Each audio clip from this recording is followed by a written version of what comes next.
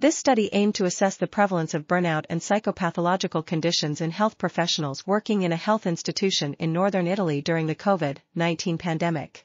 The results showed that 71.2% of participants had scores of state anxiety above the clinical cutoff, while 35.7% had moderate to severe levels of emotional exhaustion, 40% had moderate to severe levels of depersonalization, and 34.3% had moderate to severe levels of reduced personal accomplishment. Work hours, psychological comorbidities, fear of infection, and perceived support by friends were identified as predictors of all three components of burnout.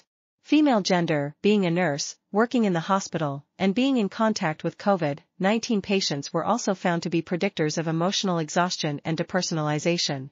Reduced personal accomplishment was predicted by age.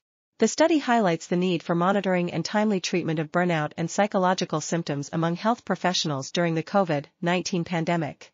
This article was authored by Emanuele Maria Giusti, Emanuele Maria Giusti, Elisa Pedroli, and others.